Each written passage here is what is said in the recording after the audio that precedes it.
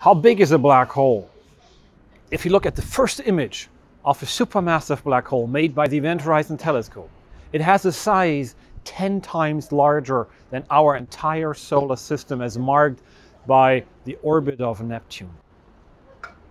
And the new picture of the black hole in the center of the Milky Way, it still fits in between the Sun and the orbit of Mercurius.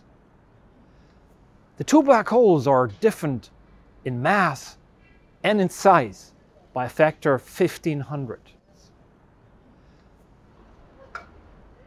We're standing here in the heart of Cologne in front of this massive cathedral, which is 160 meter high and weighs 300,000 tons. If that were the size of the black hole in M87, that would be the size of the black hole in the center of our Milky Way. But there's one fundamental difference between a normal object, like a giant cathedral, and a supermassive black hole. And that's how they scale with mass. A normal object, the mass will scale with volume. This is 1500 times smaller in this dimension, in this dimension, and this dimension.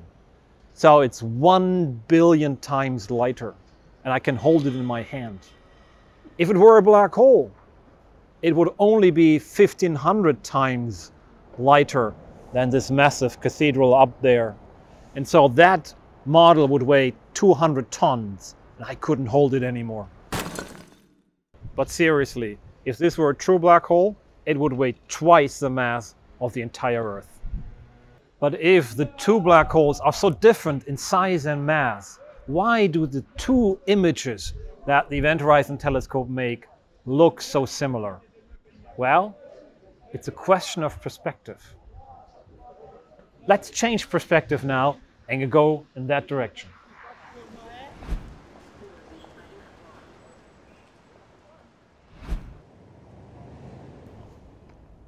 Now we are 1500 steps away from the Cologne Cathedral. If I hold the small one one arm length away, it's going to be 1500 times closer.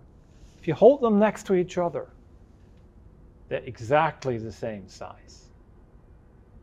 That's the magic of perspective. Of course, a cathedral you can see. From a black hole, you see the light that is missing. You can never see a black hole. You can only ever see its shadow.